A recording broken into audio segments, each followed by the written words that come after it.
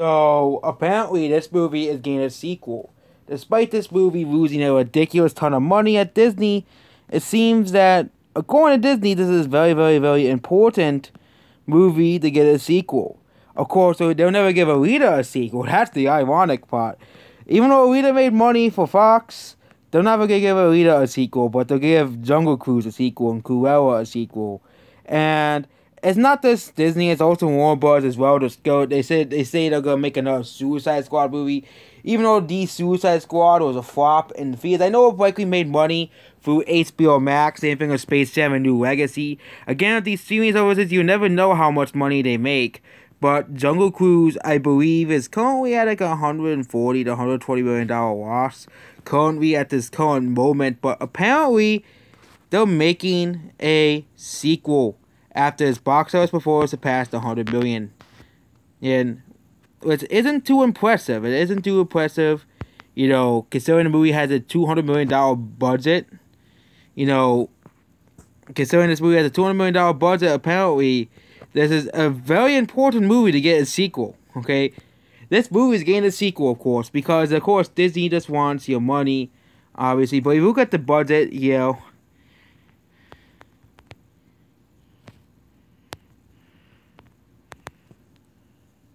Disney Plus goes according to this Disney Plus Premier Access is on 45 million according to Samba TV. Not as hard as Disney as Black Widow, so it is currently I bet I, I can use my estimates. It's about 120 to 140 million dollar loss currently, but according to this, it's gonna make money. According to this,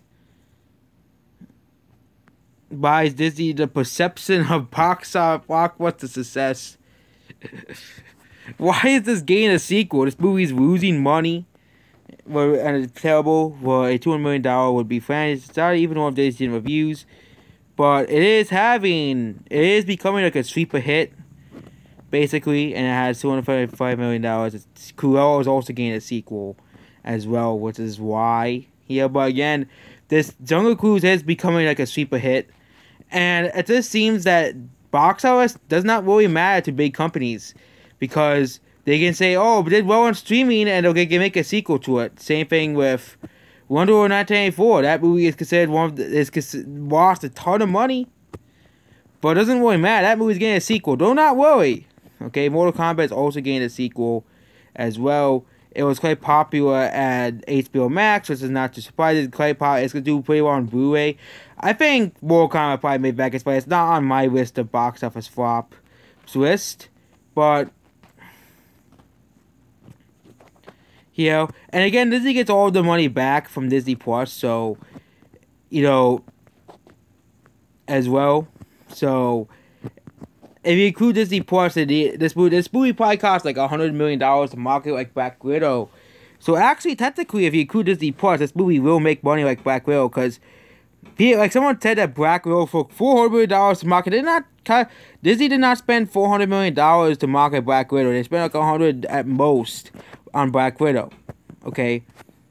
And it made like 80, 45 million, plus, it made like 60 to 80 million dollars on Disney Plus, which means this movie might actually make back its money, considering the fact that this movie is being super waggy at the box office, you know.